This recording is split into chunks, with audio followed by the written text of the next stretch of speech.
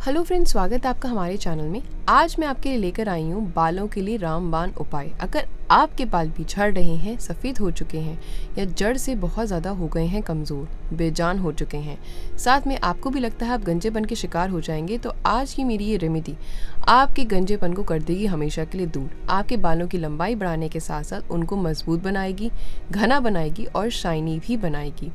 और फ्यूचर में आपको गंजेपन के जो शिकार हो चुके हैं, वो भी समस्या दूर हो जाएगी और बालों की कोई भी समस्या आपके पास तक नहीं आ पाएगी। बिना किसी देरी के जान लेते हैं मैंने इनमें किन चीज़ों का इस्तेमाल किया है और उसके क्या क्या फ़ायदे हैं। फ्रेंड्स आज मैं आपको बताऊँगी प्याज का तेल। जी हाँ अगर आपको मेरे प्याज की रेमेडी बताई जाए, बहुत ज़्यादा आपको वीडियोस मिलती हैं सुनने में कि प्याज को कट करिए, उसका रस निकालिए और बालों में लगाइए, जो हम एक दो दिन तो फॉलो करते हैं। लेकिन अपने बिज़ी शेड्यूल की वजह से हर दिन इसको फॉलो करना मुश्किल हो जाता है। हमें आलस आना शुरू हो जाता है जब थोड़ी सी हमारे बालों में ग्रोथ होती है। प्याज में सल्फ़र भरपूर मात्रा में पाया जाता है, जो जहाँ से हमारे सर में बाल उड़ चुके हैं, वहाँ पर हमारे बाल दोबारा आने शुरू हो जाते हैं। साथ में हमारे बाल घने, लंबे भी होने शुरू हो जाते हैं, क्योंकि सल्फ़र हमारे बालों में जान डाल देता है। हमारे स्कैल्प के लिए, हमारे बालों के लिए बहुत ही उपयोगी है। कारगर माना गया है। अब जानते हैं इसका तेल बनाना कैसे है? इसमें हमें किन चीज़ों का उपयोग करना है? प्याज के साथ हमें लेना है इसमें तेल अगर आप सरसों का तेल लेंगे तो बहुत अच्छी बात है, या कोई सा भी आप इसमें तेल इस्तेमाल कर सकते हैं। साथ में हमें लेनी है थोड़ी सी कलौजी।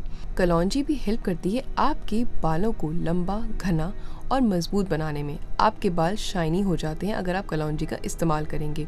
ये तेल का इस्तेमाल करना जितना ही आसान है, उतना ही उपयोगी है आपके बालों के लिए। एक सप्ताह में अगर आप इसका इस्तेमाल दो या तीन बार करेंगे तो आपको खुद फ़र्क आपकी नज़र के सामने होगा। तो चलिए जान लेते हैं इसकी बनाने की विधि। इसको बनाना कैसे है? हमें एक प्याज को छोटे छोटे टुकड़ों में काट लेना है।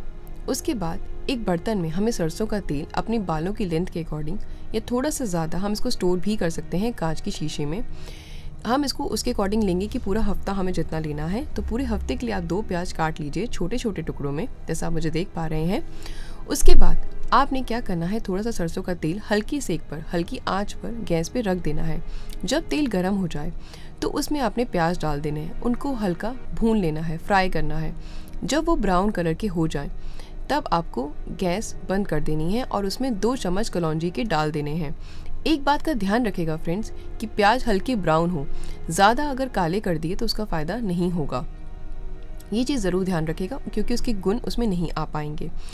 ऐसा करने के बाद आपको क्या करना है? कलौजी दो चम्मच जब आपने उसमें ऐड कर ली, उनको हल्के सेक पर सेकते रहना है कुछ समय तक, यानी गैस पर रखे रखना है, आपको चलाते रहना है उसको।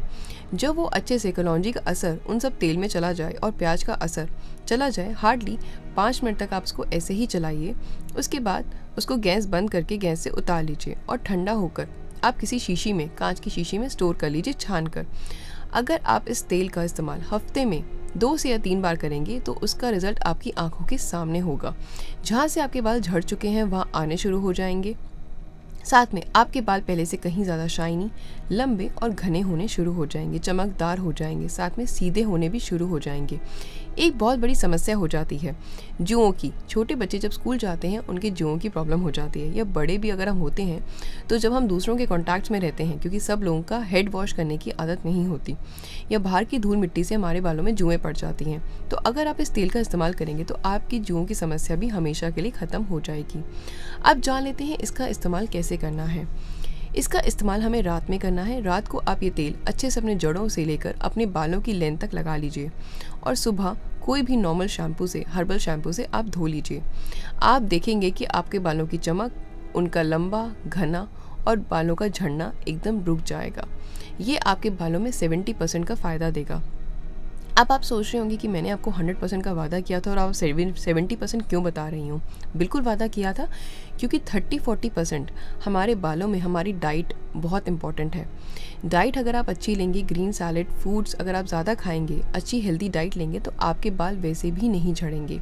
हेल्दी डाइट लेना बहुत इंपॉर्टेंट है। आप रेमेडी कोई भी इस्तेमाल करें, वो तभी वर्क करेगी जब आप एक अच्छी डाइट भी लेंगे। तो इस चीज़ का ज़रूर ध्यान रखेगा तली भुनी बाहर की चीज़ें मत खाइएगा, अगर आप अपनी अच्छी स्किन और बाल चाहते हैं। ऐसी ही वीडियोज़ मैं आपके लिए और लाती रहूँगी। आपको मेरा वीडियो कैसा लगा फ्रेंड्स कमेंट करके बताना मत भूलेगा मिलते हैं नेक्स्ट वीडियो में। तब तक के लिए बाय बाय Take care.